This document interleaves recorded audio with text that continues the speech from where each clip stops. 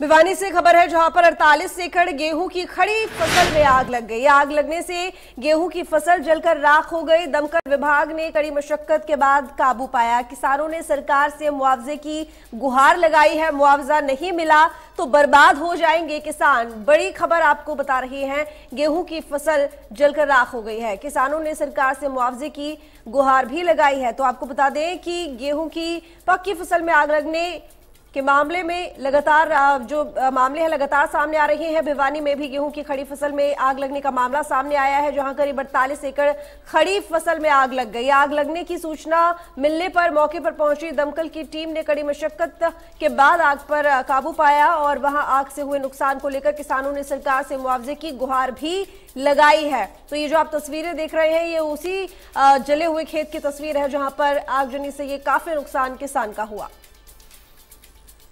में आग लग गई है और मेरे को पड़ोसियों द्वारा बताया गया कि मैं भिवाने गया हुआ था। पड़ोसियों ने मेरे को इन्फॉर्मेशन दी, भाई, आपके खेत में आग लग गई है।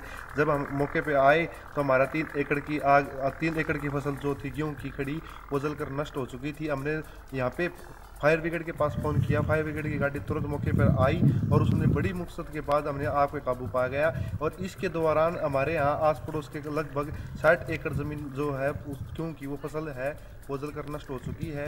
इसलिए सरकार से हमारी प्रार्थना है कि, कि हमारी फ़सल का उचित मुआवजा दिला जाए। मेरे गाँव से फ़ोन आया और पता चला कि मेरी चार एकड़ की फ़सल जलकर राख हो चुकी है। मैंने यहाँ आके देखा तो मेरी सारी फ़सल राख हो चुकी थी।